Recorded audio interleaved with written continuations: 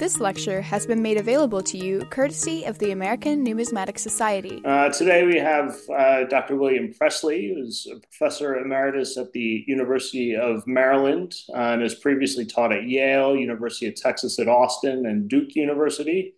Uh, at the University of Maryland, he served as the Director of Graduate Studies and Chair of the Department of Art History and Archaeology. Uh, he's written at least five books that I found, as well as two uh, exhibition catalogs, uh, mostly on British painters and paintings, uh, as well as numerous other publications and articles on the likes of William uh, uh, Blake, John Singleton Copley, and perhaps most known to numismatists of U.S. material, Gilbert Stuart. Uh, he has earned many awards and even was once a fellow at the Institute for Advanced Study at Princeton, where our esteemed, now former executive director, Gilles Bransbourg, is studying. Uh, today, he will be presenting on his most recent publication, uh, America's Paper Money, a Canvas for an Emerging Nation. So, uh, Dr. Pressly, I hand it over to you. Well, thank you very much, Jesse. I appreciate it. And I want to thank both you and uh, Emma for all your help and uh, through the last few months and, and getting this ready. And I appreciate the invitation to to give this talk. And it's sort of nice to be able to address people who are interested in in this subject.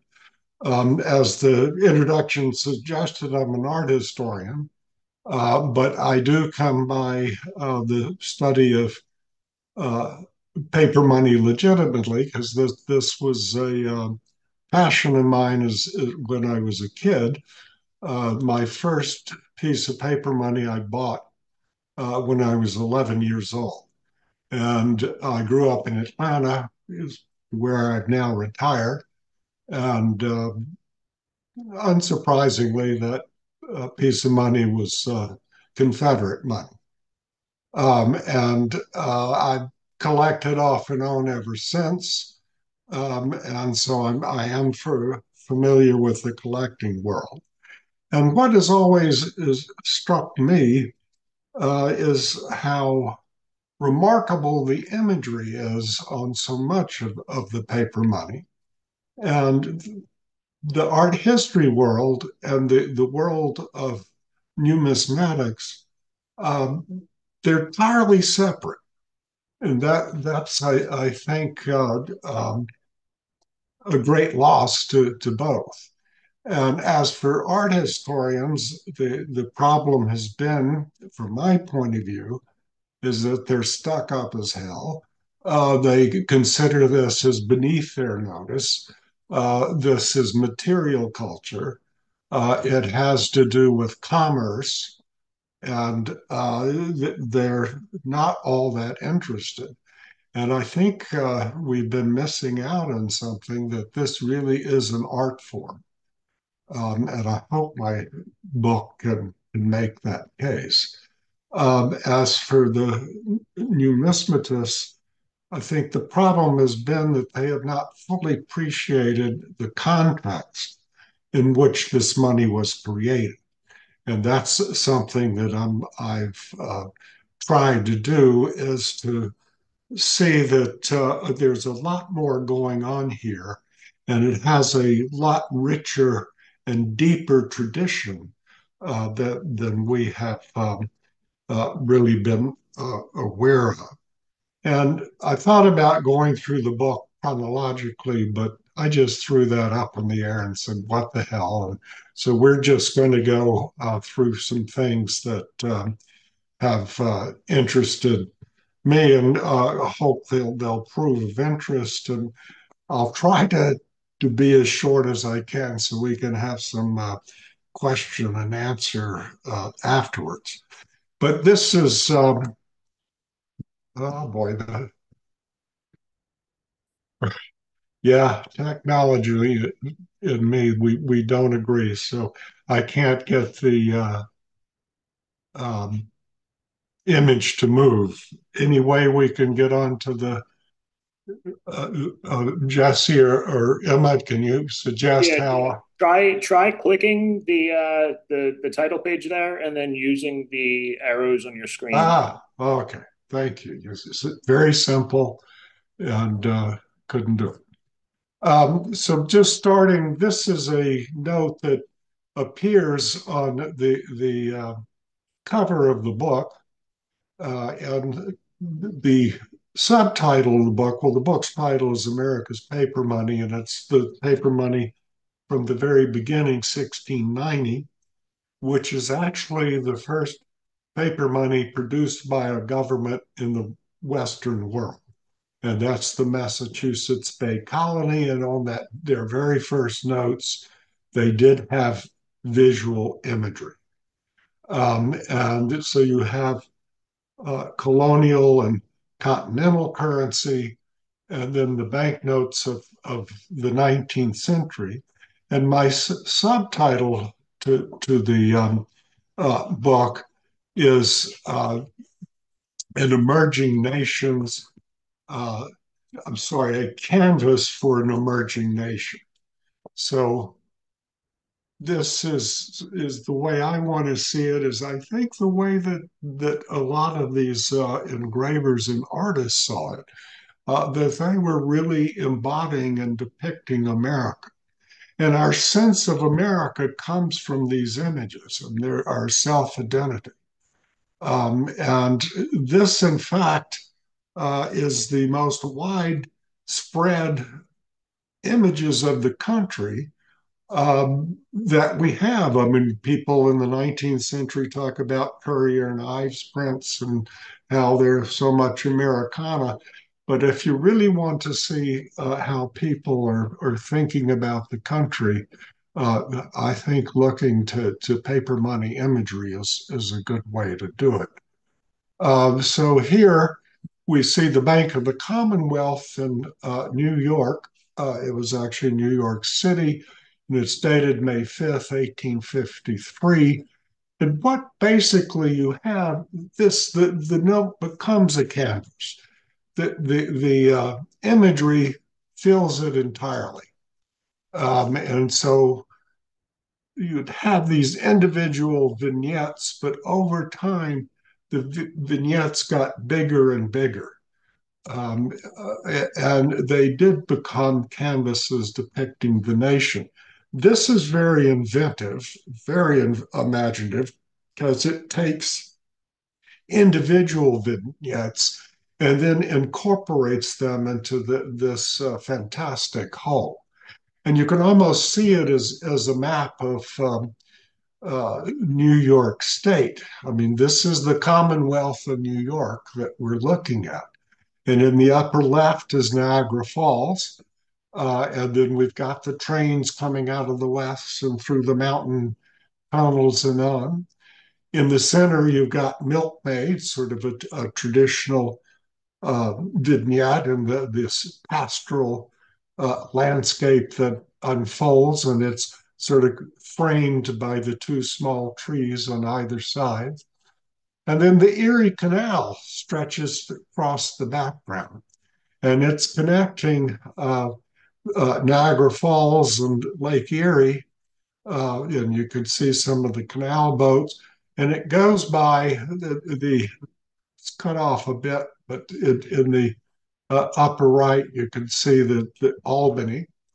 And uh, we, we're losing New York Harbor, unfortunately, down here on, on, on the right. Um, but there is a, a, steamboat in the harbor that's marked Fulton. Uh, you've got the Palisades there in the background, which link up the Hudson River to the Erie Canal. And all this spills out into a, a very uh, busy scene of New York Harbor. And just the, the um, uh, numeral five, which we're only seeing a part of it, that covers the entire right hand side, I think is, is uh, brilliantly done. Um, and this is the uh, work I, I am guessing, uh, I think there's very good evidence for it. You can't prove it 100%, but John W. Casilear uh, who was also a landscape artist as well as a banknote engraver, and I, I think uh, quite a, an, an excellent engraver. And then we have someone like W.L. Ormsby, um, and he, he, had his his uh, idea of the unit system, where um, every note was to be a picture.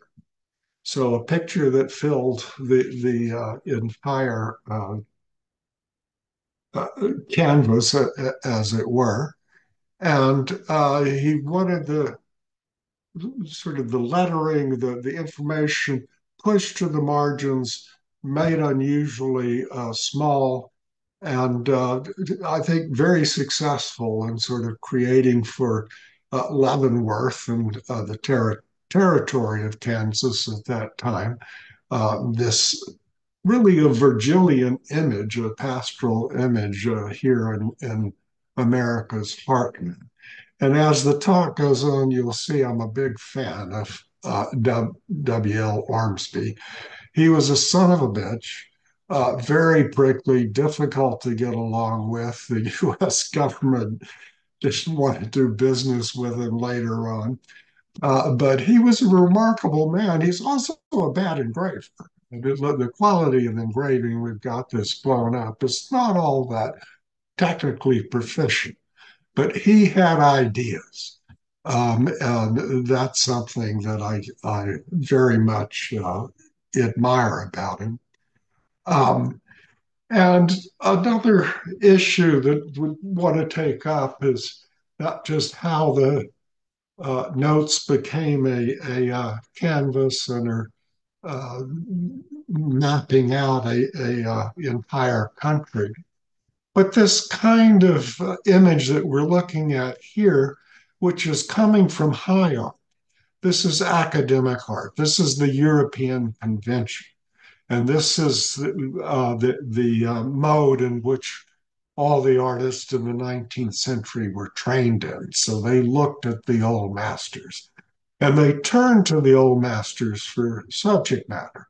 And this comes out of Guido Reni's uh, the, the uh, Chariot of Apollo. So you see Apollo, the sun god, who is uh, here in his chariot with his lyre at his side and now uh, moving uh, across the, the uh, skies. And there have been uh, some who've criticized this, this, this whole approach. Uh, what in the world does this kind of subject matter have to do with the United States and, and the, the uh, American experience? And so this, this is, uh, uh, in their opinion, uh, ridiculous that it should show up on, on paper money. And I'm quoting uh, Richard Doty in, in his book on, on um, uh, banknotes uh, that he talks uh, uh, about the disjuncture between the high mindedness of a subject and the inherent nature of the note upon which it appears, which, after all, is money, pure and simple. Um, and in the case of this very note, he says he dismisses it as containing horses, levitating deities, and a cherub thrown in for good measure. So it's easy to sort of uh, make fun of, of uh, these kinds of uh, high minded esoteric subjects, but I think they're absolutely about the American experience and how Americans adapted this uh, to, to our culture and uh, this high-mindedness too the, the, uh, it gives a, uh, a, a sense of uh, propriety and dignity uh, gravity to, to the uh, banks. It sort of fosters a confidence in, in what they're doing. But i think it's very relevant to, to in this case ann arbor michigan You've got Apollo on the left hand side because this is is uh, it doesn't copy Guido Reni. It it, it uh, is is sort of based on that, but that's uh, it's the four seasons around Apollo. That spring, then in the middle of summer, and then comes fall, and then there in the background, sort of almost the head behind Apollo is winter, sort of the, the dead time of, of year. And Apollo is, this is the dawn. And you see the dawn breaking there, and the cherub is with the lighted torch is, is leading the way. And people actually talked about in, in America uh, about this imagery and how it applies uh, to, to America. Now, this is a, a uh, speech that was given in 1815, um, and it talks about the disappearance of the indigenous Americans uh, before the onslaught of Western civilization. So he talks about the sublime allegorical painting of Guido in the Apollo, um, chasing night and her shadows over the surface of the globe. And for him, this is an allusion, and I'm quoting, to the extinction of our savage precursors before the dawn of science and cultivation. So, this moving um, westward, the sun uh, is not only for a rural farming community, uh, certainly very apt, but it's the rolling back of superstition and savagery and the introduction into America of civilization. Um, and this goes back to an old trope that we'll come mention later on too, of how civilization advances westward and is very popular in Europe. It starts in the Middle East. Uh, often people will say Egypt, and then it goes to Europe. But now the, the, the sun has continued on and it's, it's uh, gone further west now to American uh, America's shores. And uh, this, what had been a benighted culture, is, is now uh, going to become a civilized one. Of course, turned from the uh, white uh, American point of view. Um, or this powerful image, uh, which appeared in 1779 by Thomas Coram. And this is the $70 bill for, for the um, state of South Carolina. And it's a marvelous note, again, that fills this is the back of the note that fills the, the uh, uh, entire uh, space of the note, and uh, it's it's revolutionary propaganda. Uh, the figure that we see here is Prometheus. He's chained to a rock, and he's uh, tortured. That an eagle comes each day and plucks out and eats his liver.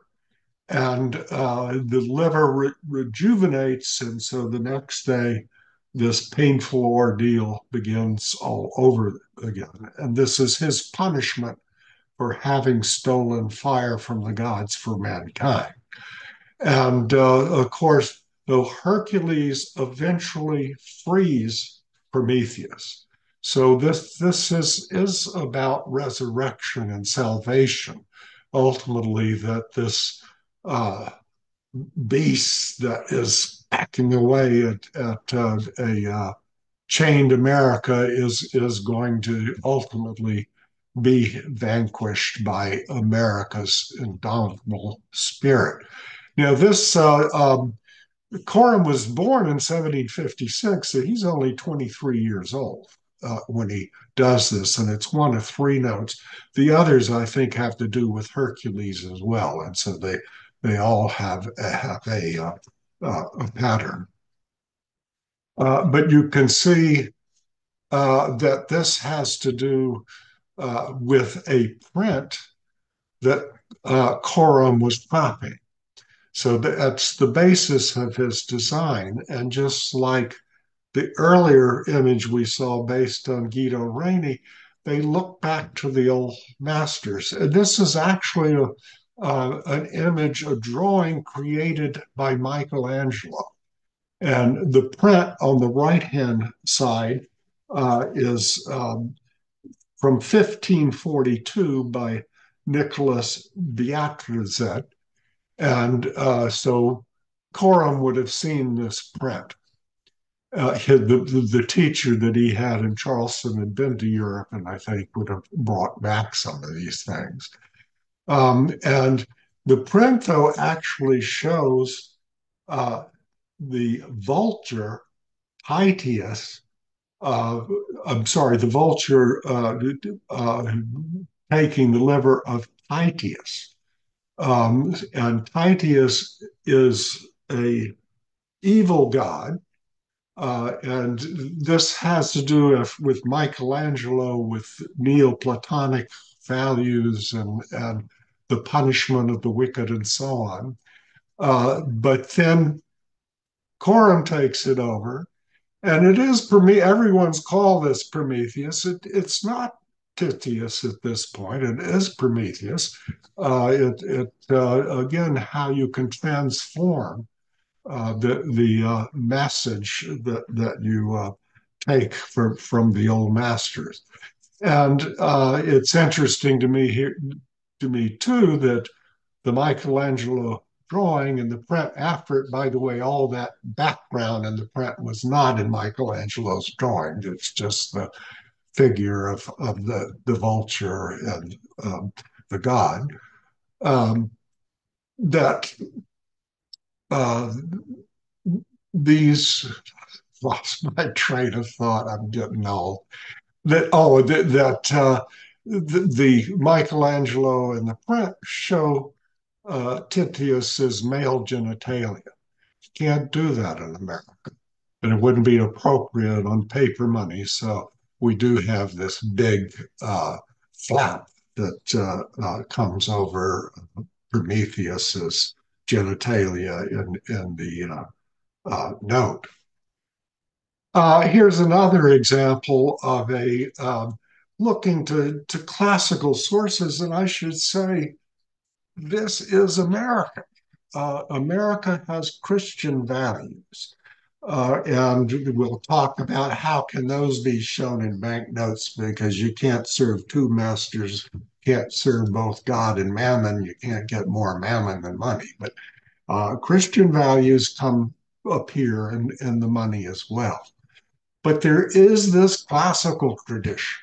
I mean, our government is based on the Roman Republic. We have a Senate, uh, and the fact that we're a republic. I mean, it's we we uh, are steeped in in uh, the uh, classical background in the the birth of our country, and so all of this is about as American as as uh, you you can want to get.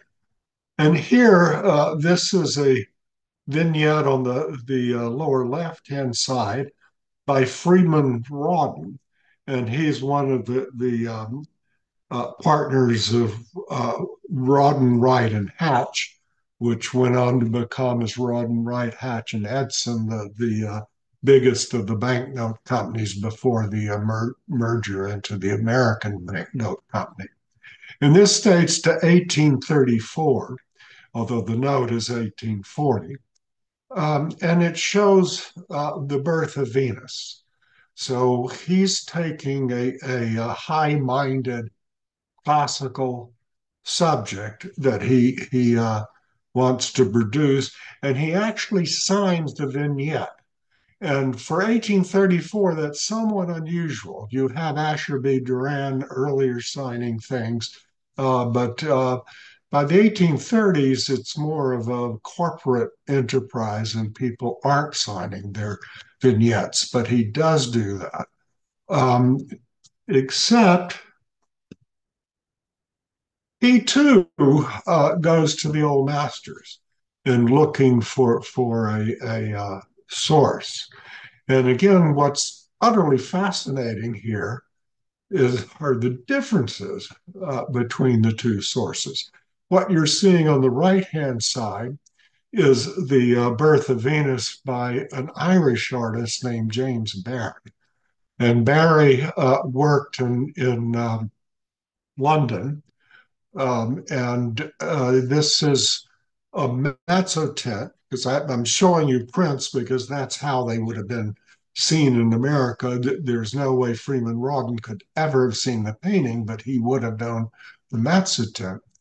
Um, and uh, Barry exhibited the painting in, in uh, at the Royal Academy in London in uh, 1772. and Valentine Green's Mezzotint after it was done in the, the same year. So this is the birth of Venus. She is uh, coming up out of the uh, ocean, seahorses and sort of a whale-like monster at her feet. Um, flowers spring up at her feet as she steps onto the shore.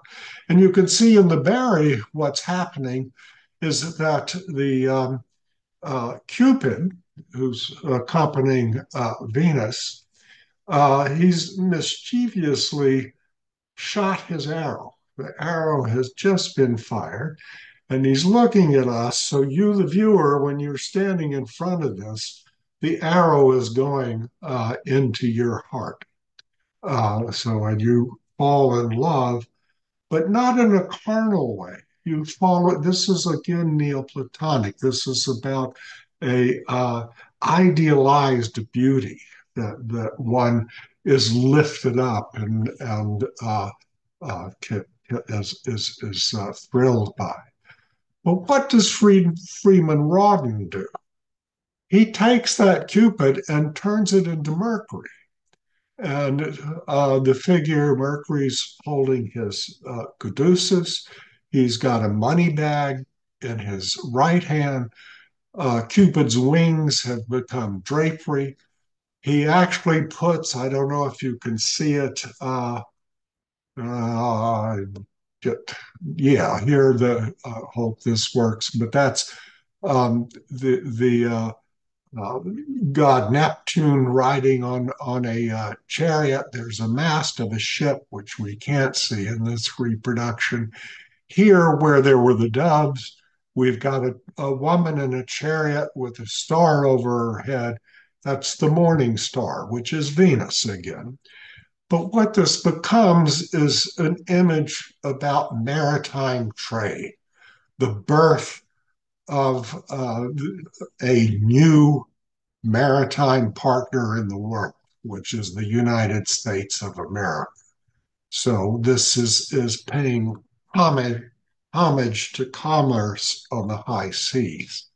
And it gets very complicated and uh, I should say this with every image that I'm showing, go read it in the book, but there's a lot about there about how in Americanizing this and making it about commerce, uh, things get a little dicey. I mean, uh, uh Venus, the goddess of love, or is Venus here more uh, uh, the, a prostitute? Because Venus is another word for for prostitute. But commerce and high art, uh, it starts to to, to get uh, uh, we're on uh, somewhat shaky ground.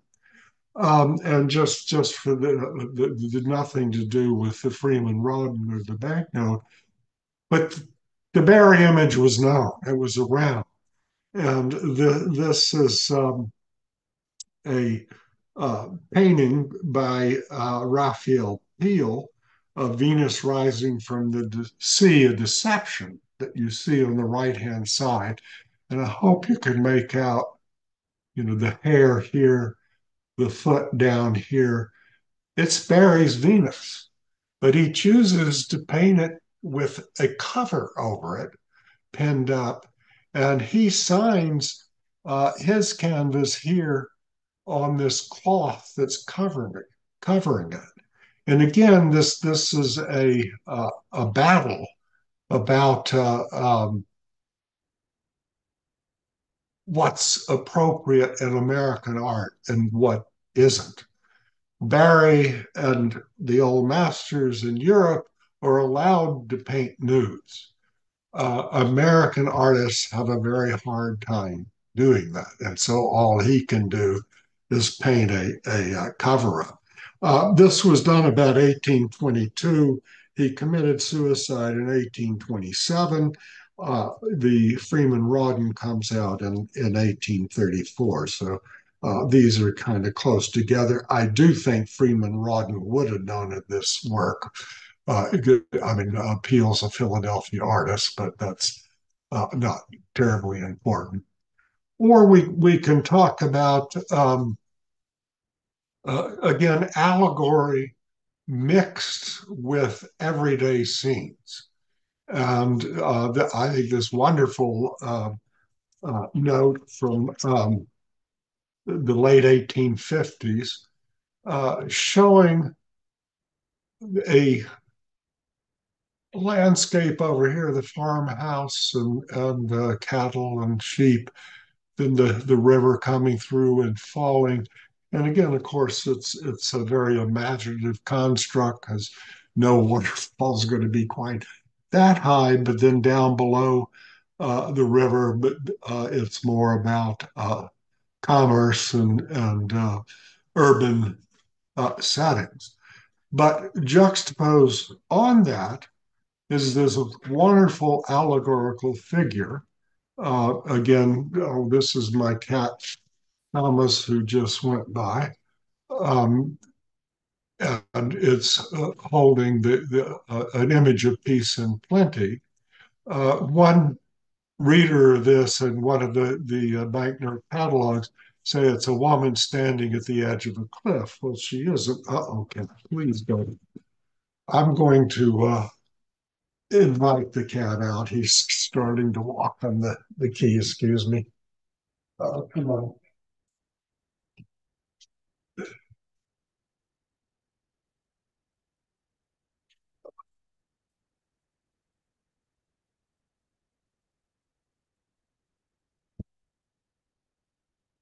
He didn't follow me, so I'll try. Um, so, and there's a breeze that goes right through the bill, and so, so the, the very title itself captures that breeze and sort of undulating through. And then we have a realistic scene, semi-realistic, of the uh, corn gatherer over here on on uh, uh, this side. Yeah. Then we've got uh, there are lots of images, particularly portraits of George Washington, and a, a, very strong banknote iconography there, the father of the country. But you you can see a real figure in quotation marks placed with an allegorical figure. This is uh, again about the, the American Revolution. Washington is getting money from the bank uh, to help supply his troops, which we see the encampment there in, in the uh, uh, left background. Uh, but I mean, imagine a scene of a realistic scene of uh, Washington approaching the teller's window or sitting at the desk with the bank president. Uh, this doing allegory and and uh, with an equestrian portrait of Washington on horseback, I think, uh, works much better. Um, and now we, this is the kind of image I love. I mean, it's it's sort of a a problem uh, picture. I mean, it's very very complicated. What in the world are we looking at? Uh, it's also unique. I think maybe the it was found in, in the bank vault of the Carroll County Bank, and it's now owned by uh, Q. David Bowers. And I think nobody knew quite what to do with it. Um, the, the, bank president, I should think. So it, it, it was uh, never circulated. But this uh, rather remarkable scene uh, where we have the, the two main figures here, she has a laurel crown she also has a compass and the globe navigation. Um, and this interesting figure is uh, pointing out uh, the, the scene here on the right hand side. And the arm is taken right out of Michelangelo again, and that's that comes off the uh, ceiling of, of the Sistine Chapel of God the Father in image of creation. Um, and what we have on the left is uh, a scene of, of America, and we know because it's Indians and, and the, the uh, uh, quiver and the bow that are hanging from the tree. Um, Bowers call this a, a, bust of Washington. It's not, it's the bust of Shakespeare. Uh, and what we're looking at here, these are the European arts, so Shakespeare and writing. We've got the mallet of, of a sculpture, the, the uh, palette and brushes of, of uh, painting. And so through navigation, the arts have found their way to America. And from this uh, now uh, blossoming in, in the new world is going to come here on the right hand side, ultimately a, a, a splendid um, uh, brand new world of industry and ships and, and, and all. But who in the world is this uh, winged figure? And we do have a, a, a, uh, statement made by Stephen Bede, who was the cashier of the Carroll County Bank, and he described it as an Egyptian with wings. And if that's the case, we, we have again the uh, story of the Western migration of um, civilization starting in Egypt, flourishes then in Europe, then all this brought to America's shore, and we're going to have this brand new world. Personally, I'm more inclined. It doesn't change the meaning; it's still still all there. But uh, I see this sort of sun headdress as looks more Aztec to me. Um, I think it's uh, an indigenous American, but again, it's an allegorical figure since it has uh, wings and uh, but representing the new promise of, of America. It's still basically the same uh, uh, idea as, as the earlier. Um, this is uh, a specimen sheet by Ormsby that he put out, and he's trying to to uh, advertise his kaleidograph, uh, which all these intricate machine-made uh, counters that we see here. Uh, the date is 1855, and uh, security. This is what this is about. That, that these kinds of technological advances are creating a, a um, uh, new security for for uh, uh, the banknotes that are disseminated. It's against counterfeiting across the uh, country. This, course, neglects the, to mention that a lot of the money being produced by the banknote engraving firms are worthless. Uh, they're fraudulent. And how the whole economic structure uh, survived as long as it did, I have no idea. That'll leave to the economists. Uh, but what you have here, um, and Ormsby used this vignette on banknotes and he used it on a $5 bill, uh, just as you see here with five cupids. But what we're really looking at, if you step back, this is a roulette wheel. There's no security here. It's the wheel of fortune.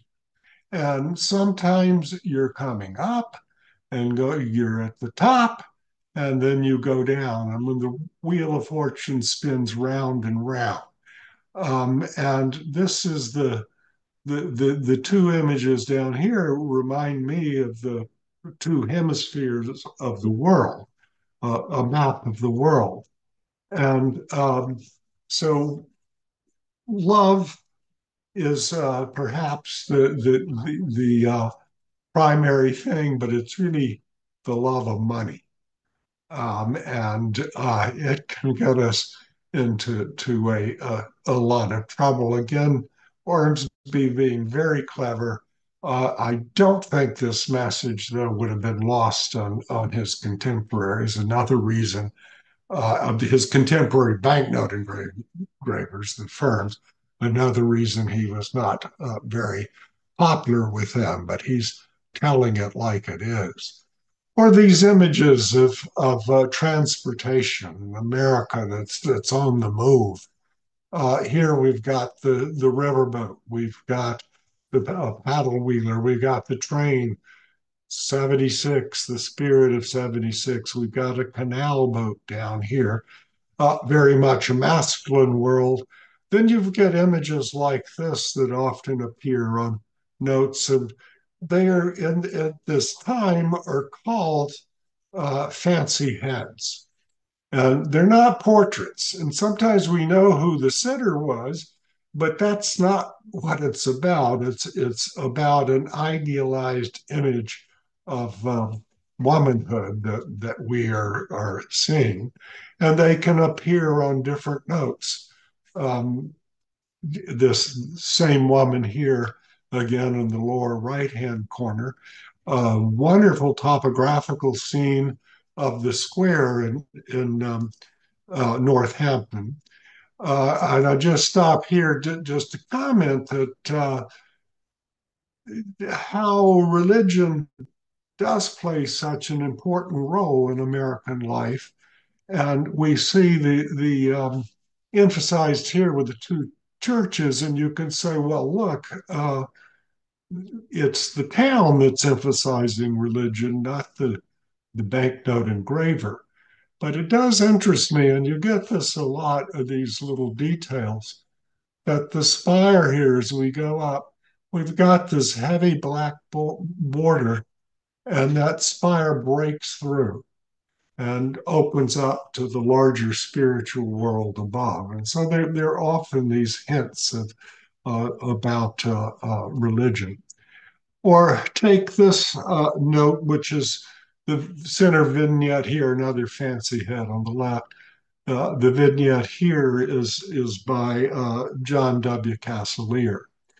And it again shows America's promise of pastoral setting. But this is straight out of the Bible, just like we had those classical references uh, in so many of the notes. This is a deliberate biblical reference. And the um, when you get a, a, a, a proof of just the vignette, it's entitled Rebecca. And this is Rebecca at the well out of the Old Testament. It appears in, in the book of, of Genesis.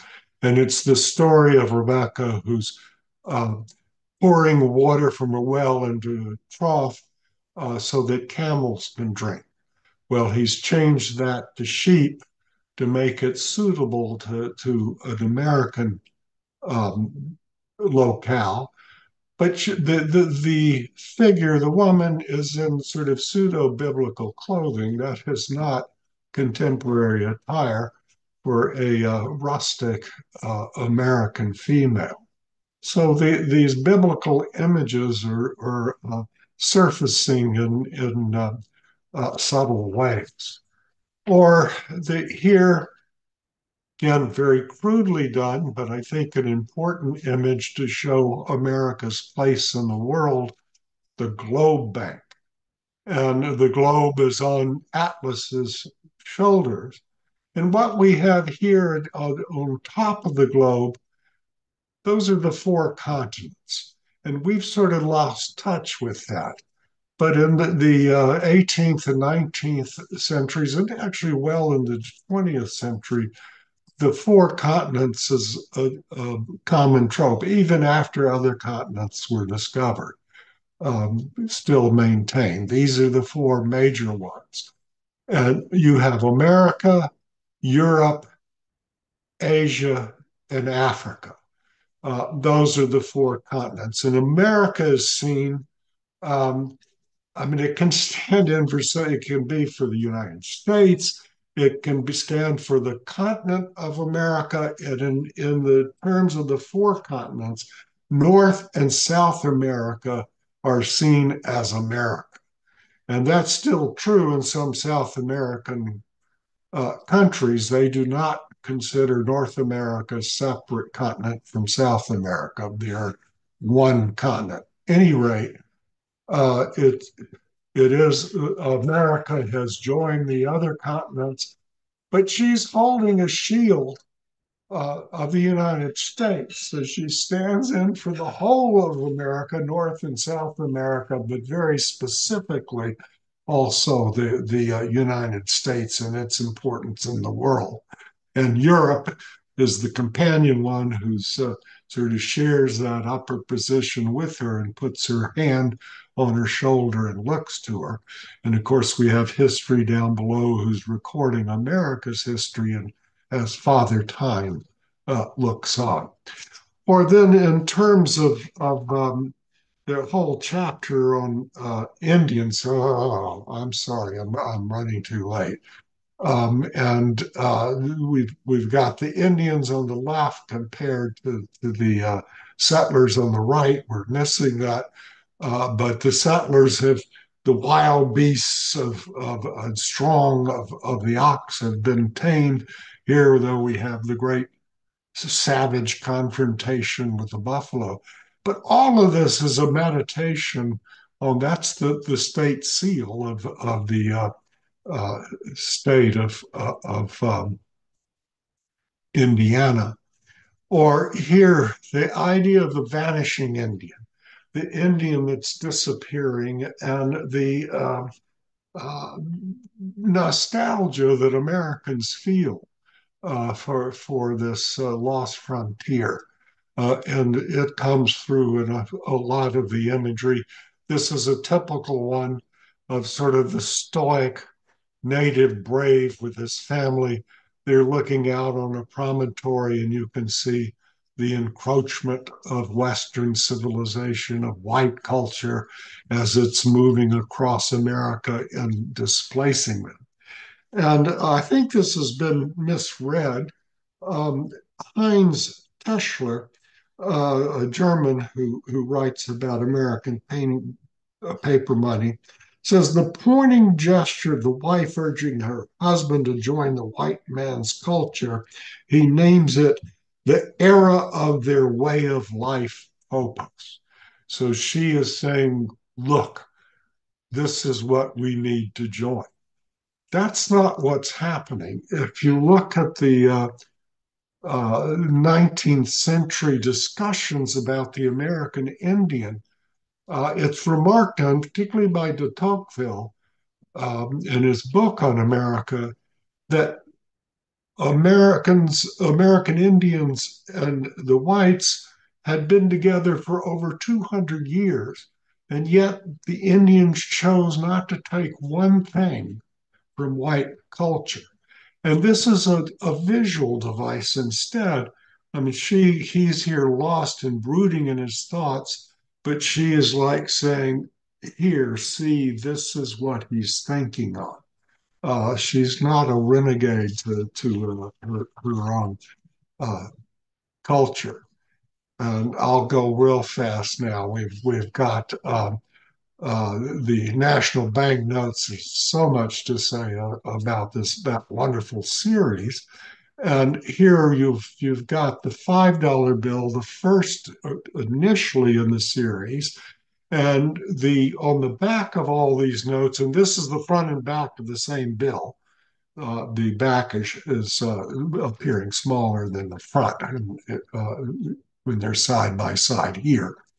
Um, but it's the only one because they take seven of the the uh, uh, paintings that are in the rotunda and uh, put them um, uh, on the backs of, of the bills, and very quickly the front of the bills and the back of the bills become disjointed.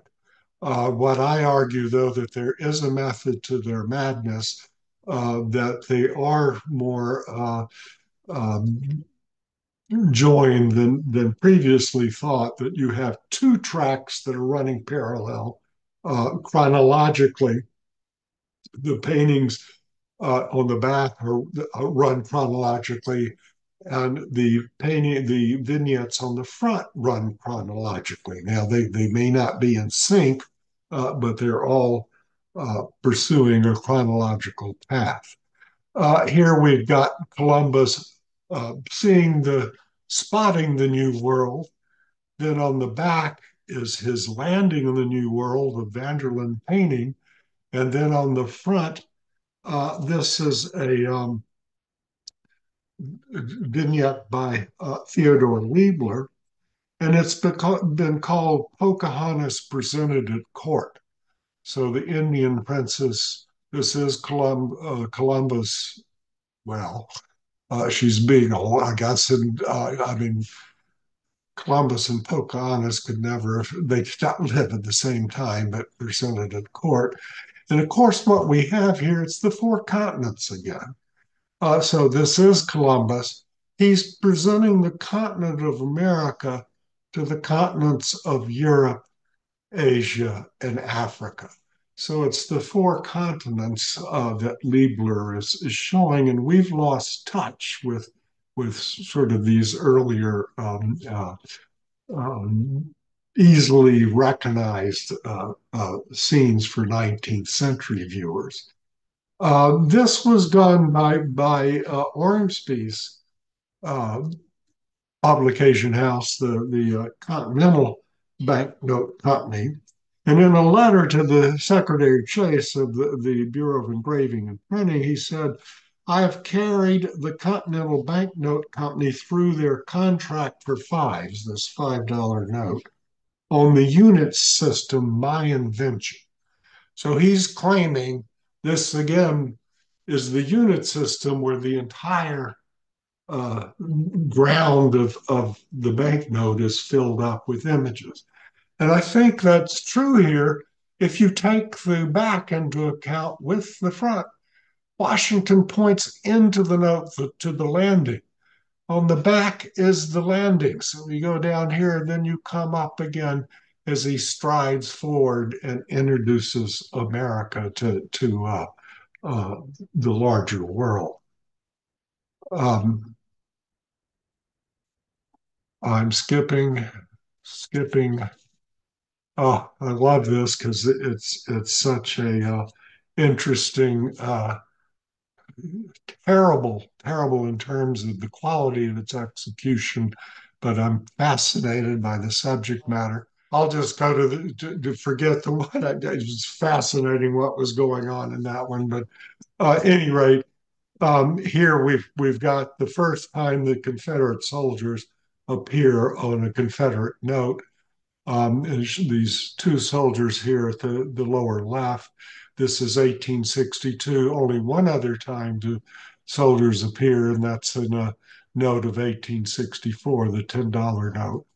Um, and I've screwed up again in trying to get to the next one. I've, you know, everything is is off. There we go. So you can see that the, the this has been taken straight out of a banknote vignette. And these are Revolutionary War soldiers. And you can, you if you don't believe this is a based on on this, look down below them. They've taken over literally the, the that composition.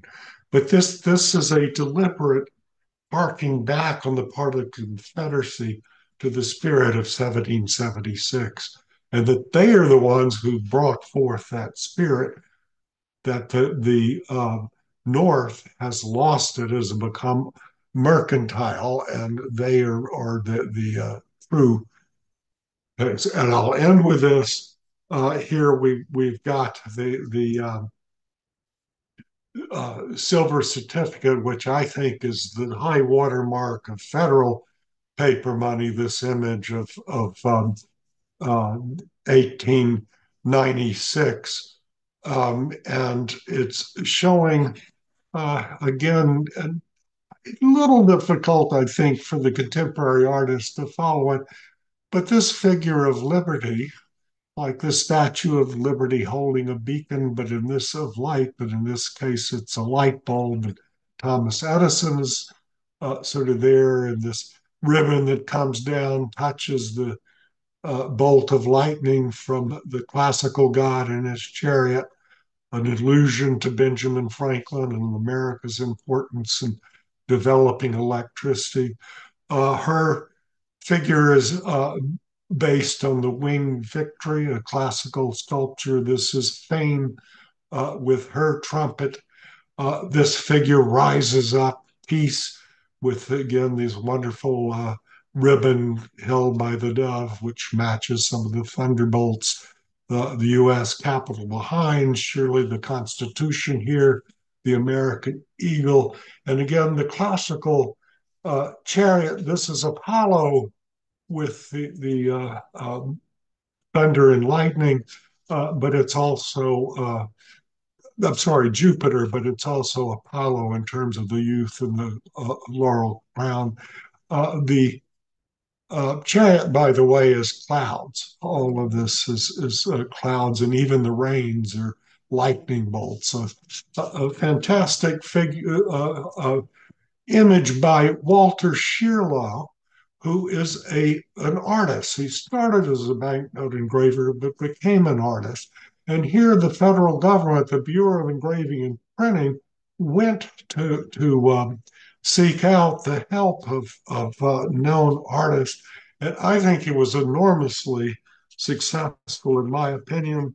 Uh, not everyone uh, agrees, uh, particularly the engravers of the Bureau of Engraving and Printing, printing uh, were quite mad about it the, the, the whole time.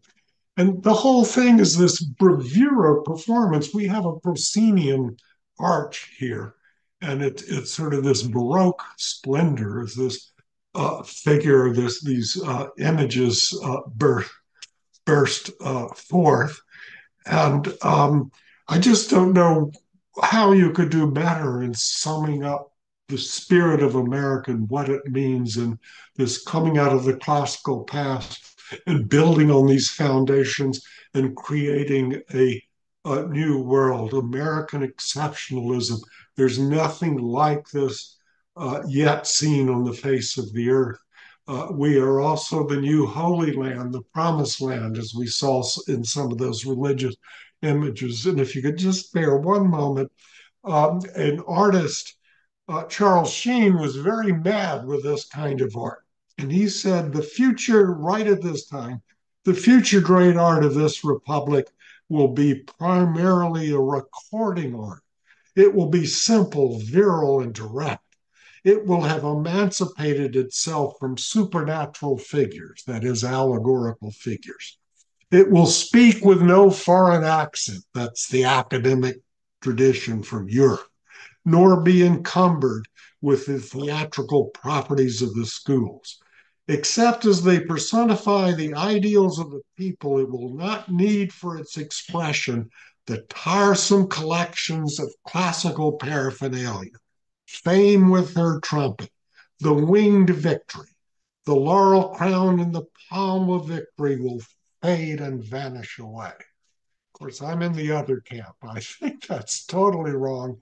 I think this absolutely does a uh, fantastic uh, image of, of, of embodying the, the uh, American spirit. Okay, I'm sorry. I'll stop here. Um, much too long. Thank you so much, Dr. Pressly. If you click on the very top of your screen, it should say stop sharing, and that will allow everyone to be seen once again. All right. Uh, before we get to one or two questions, I would like to honor everyone with a free version of the book. Uh, it's in the chat. Uh, compliment to the ANS. And uh, and in actuality, uh, your book is free by download only. That's the only way that has been published, if I'm not mistaken. Through that's right. I, I do have some printed copies. Okay, yeah. Um, but uh, no, I think that's that's uh, an amazing development in publications. Um, right. Sony but it, it is only available online to the general. Yeah, no, it's amazing. So we all appreciate that. Uh, so anyone who is here can click in the chat and and download the entire book for free. Uh, I'm going to open it up for questions and automatically go to Mark Tomasko because I know he's dying to ask a question. So Mark. Oh, Mark. How I didn't you, see Bill? you there. Uh, yeah, I in the beginning uh, I had wanted to thank so many people in in the collecting community that have been so helpful. Uh, Mark was one, the primary one. He read the manuscript. He wrote the foreword to the book, which for which I'm very uh, grateful. And uh, um, uh, Len Augsburger, who I think is there today, uh, he also was was very uh, helpful as as many others. It, it really was a, a wonderful community, and uh, thanks to Mark too, Yale University Art Gallery is doing a lot with um, uh, printed money, and and uh, it deserves to be in an art gallery. That's that's one of my uh, arguments and one of Mark's arguments. I hope I could speak for him. Sorry, Mark, I haven't left you much time. Absolutely, it was fascinating, Bill, as usual. But the uh, the interesting comment you made about uh, Ormsby. Um, Ormsby was a very creative, talented gentleman but he was not a great engraver. If you notice those cows on the Car- uh, the Carroll County, not Carroll County, the uh, first one you showed. Yeah, that's, Leavenworth. That's all etching. He was oh, okay. Pretty good at etching, but his faces on the Carroll County, if you look at those faces, they're not great. Uh, so, but it's an interesting contrast um, in terms of he was a creative man, to put it mildly. But your your look and the part that I really appreciate is that to have an art historian really look at these images and give some of the classical background is wonderful. And that's what the book really is outstanding on. And even the national currency, where you're showing the progression uh, on the $5 note, uh, is very interesting. So thank you for bringing this information out. Well, thank you, Mark, again for for your help and uh, letting me get uh, having to make this a reality. I do appreciate because uh, you know there, there's a lot of sophisticated technology going on here, which uh, I was in over my head, and without Mark uh, leading me through this wilderness, uh, I, I would have been lost. It's a shame the book is not available more in print and just online. And online free is wonderful, but uh, the book in print is really um, what should be available. So, Jesse, I don't find it a wonderful system, but well, it, it makes it more, uh, you know, accessible. So accessible. You're right. You're yeah. right on that score. Uh, there's there is nothing like holding a book, but the accessibility is is quite astounding. But also uh, reference for reference purposes, uh, the printed book. But anyway, go ahead. Others should ask. Yeah, if there's any other questions, uh, you know, we we you know we're a little bit over time, but we don't mind. You know, if there's anyone. Uh, you know, uh, hoping to ask something for to Dr. Pressly right now, uh, you're more than welcome to unmute yourselves and ask. Um, we also can put it into the chat. Uh, we have uh, Larry Schwimmer. Why was C19 US so comfortable with female nudity, but later uh, 20th century objected to much more minor depictions? Uh, well, it's always been a factor. And um, I was interested too in, in reading uh, people commenting in the late 20th century on an image like uh, that that we saw of the birth of Venus, they called it uh, semi pornographic. And that it's not. And there is a, with academic art, there's a difference uh, between the nude and the naked. Um, and I'm going to use Kenneth Clark, the, the uh, English art historian's easy definition of the difference. A naked person is someone who's taken off their clothes. A nude person is uh, someone uh, that state is the natural state, and for Venus, uh, it, it is. But even in you know in the 19th century, they it, it was a bit problematic, and and we saw with with uh, uh, poor uh, Raphaelle Peale that he had to do a painting covering up Barry's paintings. So, so there was always that tension going on. If anything, I think we've gotten worse. What who we it, it's in the book in a footnote, but there was a member of uh, um, uh, Bush's the second Bush W's uh, cabinet who uh, the Department of Justice put cloth over the bare-breasted uh, statue of of uh, justice when he gave his speech about there in that hall. I mean, it's to me, it's just amazing. Um, thank you, Larry, for the question. And uh, if there's any other questions, um, if not, I think uh, this is a good time to wrap it up. Uh, thank you again, Dr. Pressly, for an amazing talk and discussion. And again, if before we close the the Zoom, if you want to click that link and download the book for free, there it is for you and um, uh, you know hit hit hit print on your printer so that you can follow Mark's uh, uh, lead and, and have one in uh, hardbound too. So I should I should mention that the book isn't free.